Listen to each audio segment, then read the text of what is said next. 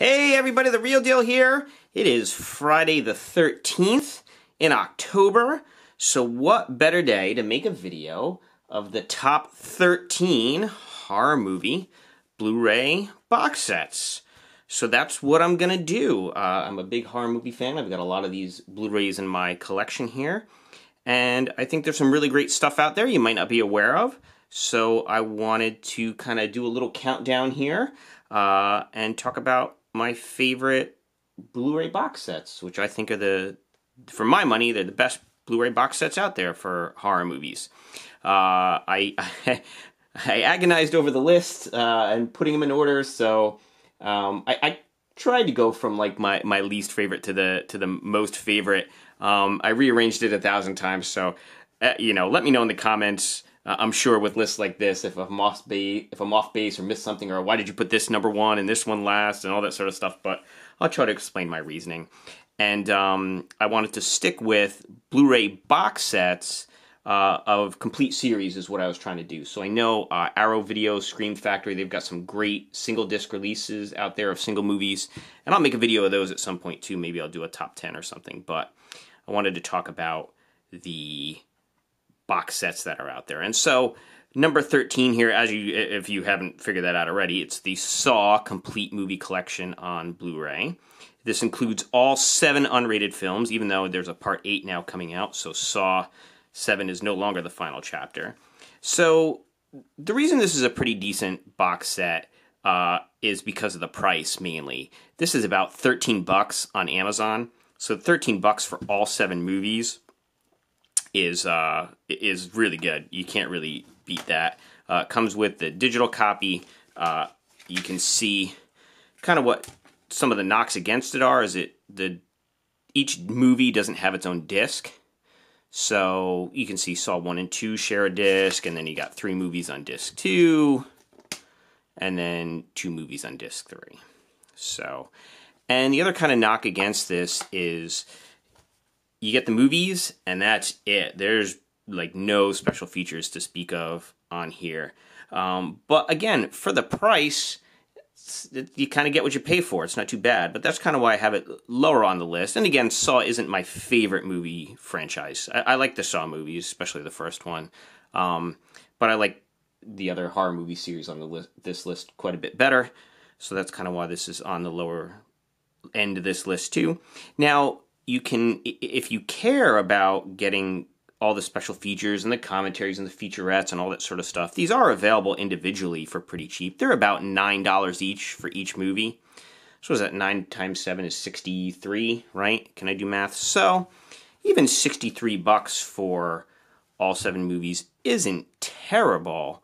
Um, so go that route if you want to get special features. But for this, if you just want to get all the movies, get the unrated cuts, get them cheap is like 13 bucks. So there you go. That's number 13 on my list.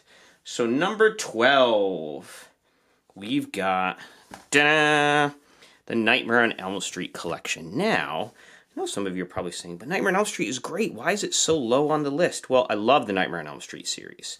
Um, I just think this this box set is good. It's a, it's a decent box set, but it's got a few knocks against it that I'll talk about, and that's kind of why I put it a little bit lower on the list. So you do get all seven movies.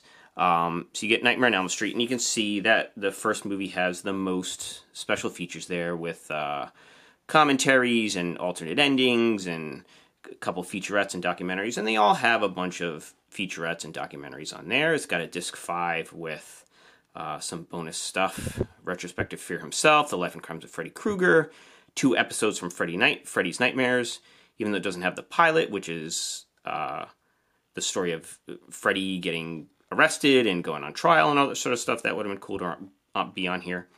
So it's it's not a bad box set, and it's nice to have all the movies all together. Um, what kind of knocks against it for me is a couple things. So first of all, Again, we have movies sharing a disc, which is a pet peeve of mine. I'd like each movie to be on its own disc. I feel like it's better quality that way. Um, even if it's more discs, I know they do that to save money, but whatever. Uh, the price of this isn't too bad too. Uh, oh, I forgot to look this one up. I think it's about maybe 20, 30 bucks. I don't think it's that much money. You can still find this pretty cheap. It's not out of print or anything like that. The other kind of knocks against this for me, uh, and maybe I'm being nitpicky, you let me know in the comments, but this is missing a few things that I'd like to see on this box set. Number one, we are missing the Freddy vs. Jason movie. It's not included in here. And we're also missing the remake. Now, I'm not a huge fan of the remake, but I think it's nice to have that if you're going to do a complete series box set. But okay, that's not so bad. You can pick those up separately. I actually grabbed the remake here to show you. This is, you know, the Blu-ray of the remake, if you want to check that out. But okay, but that's not part of the the uh, the box sets here. I was just showing that to you. The other thing is, there's deleted scenes from the first Nightmare on Elm Street movie that were released on Laserdisc. They were released on VHS. As far as I know, those have never made it to DVD, let alone Blu-ray. So I would have liked to have seen those on here. And plus, there's an unrated cut of Part 5 that surfaced on VHS back in the day, and that's never made it to DVD or Blu-ray either. So I was really hoping for that like definitive set with all that stuff. I'm sure there's deleted scenes from all the other movies that we haven't seen. So this is not a bad box set, and I'm not knocking Nightmare on Elm Street as a series because I do enjoy it. But I think it's time for an upgrade to this box set. Uh, I don't know that that's going to happen. Nightmare on Elm Street isn't really in the cultural consciousness right now. There isn't a new movie coming out or anything like that. But if for some reason the folks at New Line uh, are watching this. I think New Line still owns Nightmare on Elm Street, right? Um, yeah, get on that. That'd be great to get a nice uh, upgraded, definitive Nightmare on Elm Street box set. That said, this can be had pretty cheap. It's not a bad thing to own. Uh, it is nice to have all the films in high definition. All right, so that's my little take on Nightmare on Elm Street. So that's number 12. So let's move on to number 11 we've got The Exorcist, the complete anthology. Boy, I should have had something to stack these up in the back. We're just going to have to kind of pile those up, I suppose. Okay. So this is a pretty decent box set, of course, of the Exorcist franchise there. So you've got uh, the original, you've got uh, Exorcist, the extended director's cut, Exorcist 2, The Heretic, Exorcist 3, Exorcist the Beginning, and Dominion, the prequel to The Exorcist. So it's cool that all four of the movies are on here. Well, all five, I guess, technically, right? If you count the the last two prequels, they're they're two separate movies. They're totally different movies, um, and it's it's pretty good. It's you got the movies on Blu-ray in here. Let's check it out. And uh, I guess the only reason I kind of knocked this down a little bit too is because uh, I like Exorcist 1 and I like Exorcist 3. Exor- I like Exorcist 2 as a movie that's just so bad it's good. I mean, that's just a movie. You, you gotta watch it to believe it. It's just not a good movie. And then I don't really enjoy either one of the prequels. I don't think either one of them are all that great. So, um, but there you go. It's cool to have it. Um, and they're interesting to watch. I mean, you know, I, I can still, in a weird way, enjoy movies I don't like, I can still enjoy to to see kind of where they were trying to go with it and what they did with it, and I can still sometimes enjoy watching stuff like that. So, so there you go. If you're a fan of the Exorcist series, this is the box set to get. Now, I also wanted to point out Scream Factory has an Exorcist 3 collector's edition, uh, and that comes with a director's cut that is not on this box set. This Exorcist 3 was released after this box set came out. Uh, so if you're interested uh, and you like Exorcist 3, you might want to check this out because there's some stuff on here that isn't in this box set. So I thought I would just point that out too, right? So it was number 11, am I on? I'm going to lose count here. Okay, so number 10. Number 10, I'm going to cheat a little bit here, right? So number 10, we've got the Dracula Legacy Collection. And I'm kind of cheating because I've also got Frankenstein, Wolfman, and The Mummy. All right, so I kind of lumped all these Universal Monster Legacy collections together on Blu-ray here. Now, they don't have a Legacy collection of Invisible Man and Creature of the Black Lagoon yet. They have it on DVD, but not quite on Blu-ray, but it, they are planned to do it. And these are awesome. I love the Universal Monster movies. The thing about these is uh, it's great because they include every movie from the franchise. So with Dracula here, you get Dracula, Dracula's daughter, son of Dracula, House of Frankenstein, House of Dracula, and Abbott and Costello meet Frankenstein. But unfortunately, with Dracula, Frankenstein, and the Wolfman, there's some overlap. So you can see um, Frankenstein also comes with uh, House of Frankenstein, House of Dracula, and Abbott Costello meet Frankenstein. And then the Wolfman comes with House of Frankenstein, House of Dracula, Abbott Costello meet Frankenstein. Uh, and then the Mummy is all just the Mummy movies. So, um, so it's great that they've included the and Costello movies. It's great that you get every movie from the franchise. But because the characters all kind of crossed over, this was kind of really the first uh, cinematic universe uh, before Marvel, uh, way back in the you know the, the 30s and 40s and everything. Um, because they overlapped, they, they overlap on the, the Blu-rays too. So just kind of bear that in mind. Uh, you might want to see if you can find them uh, cheap, so you're not paying for movies you already have. But I love the Universal Monster movies, and I thought it was worth kind of cheating a little bit here with number ten, um, and just kind of showing you all these because again they're overlapped. They're almost kind of the same, but not really. So, and I couldn't pick just one, so screw it. It's my video. I can do what I want. There we go, I cheated. So that's number 10 is the Universal Monster Movie box set. Oh, okay. So now, that was number 10, right? So now we're going to move on to number 9. And this is something you might not be aware of because this is the Scream collection. This is the Scream Complete collection. And if you look real close, you can see some of that's in French down there. And that's because this is a Canadian release. And Canadian releases are region one. They'll play on US players. This has got all four movies. And the reason I picked up the Canadian set is because it was I forget it was about 40 bucks on Amazon when I when I got it, so that's not bad, about 10 bucks a movie. It's not bad at all. And it comes with all four of them. In the US, they have something called the Scream 5 movie collection, which is total BS because it comes with the first three movies and then two documentaries. Scream 4 is not on that collection. You got to get it separately because of some weird rights issue in the US that, whatever, I don't quite get it, but that's the deal. So I thought, boy, if I want to get the Scream collection, I wanted all four of them. Here we go. And each one's on its own disc, which by now you realize makes me happy. And you get a bonus disc with some documentaries on there.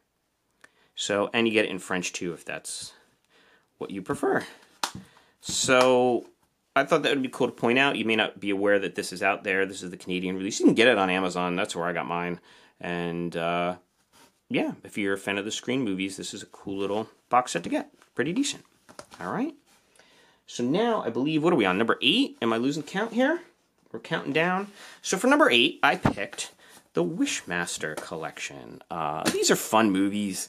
Uh, they're just they're just a goofy good time.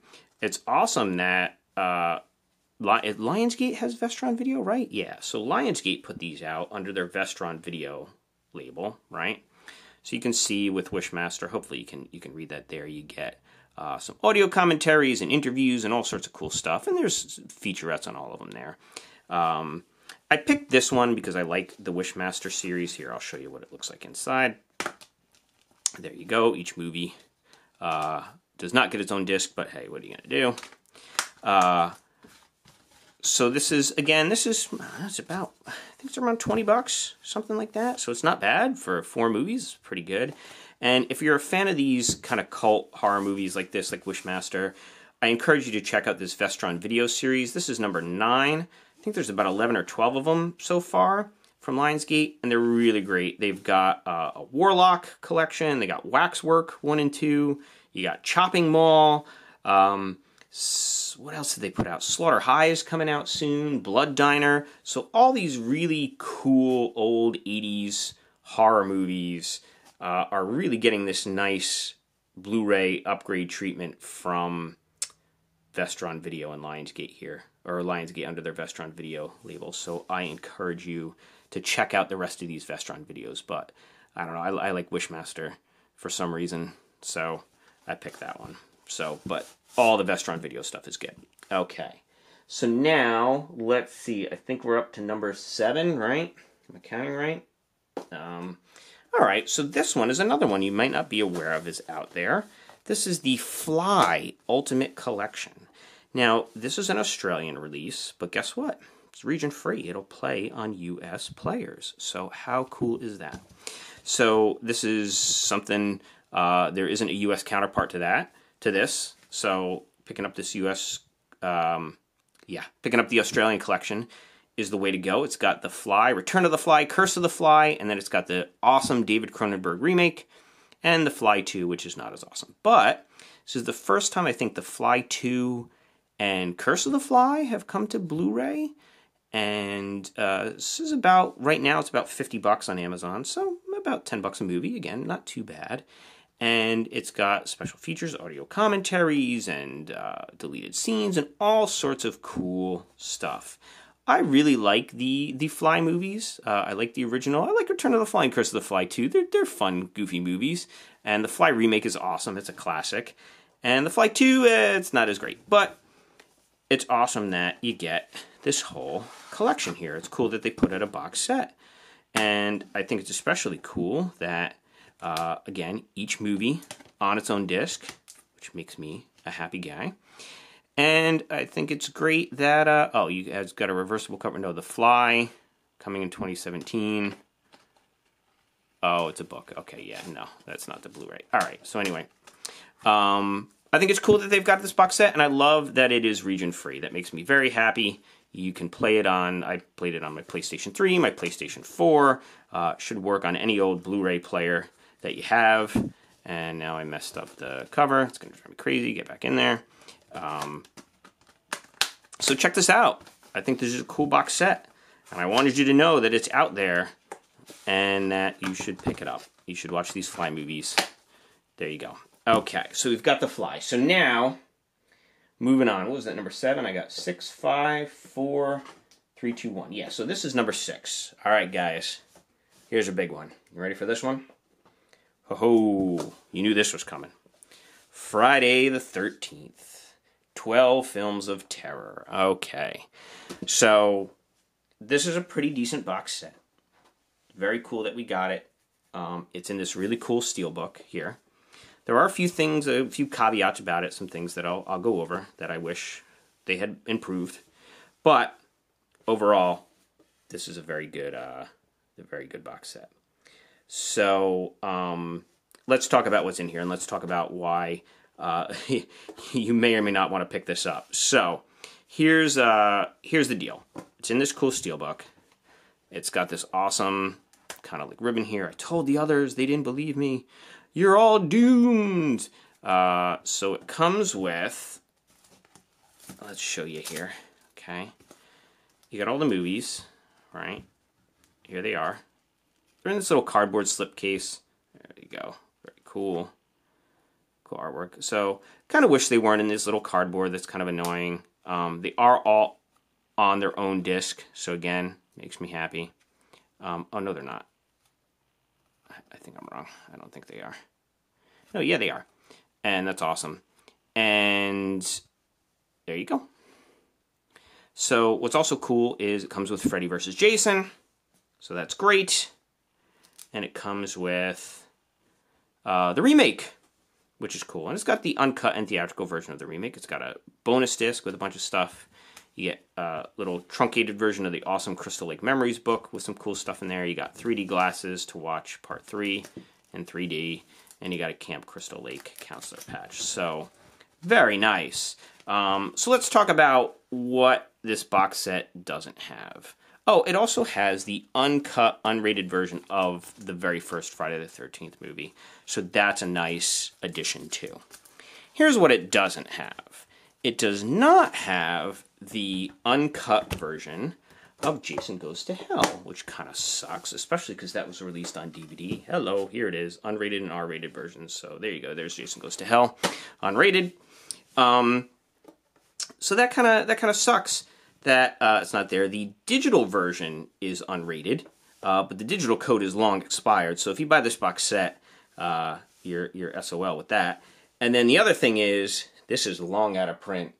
Good luck finding this thing. This goes for at least like 200 bucks on eBay. I just looked it up before this video. Somebody's selling a sealed copy for $400, uh, or they're trying to get $400 for it. That doesn't mean they'll get that money, but um, so yeah, so that's a, a, reason why you might want to avoid this. But otherwise, this is a cool set. Um, and who knows if it'll ever come back in print.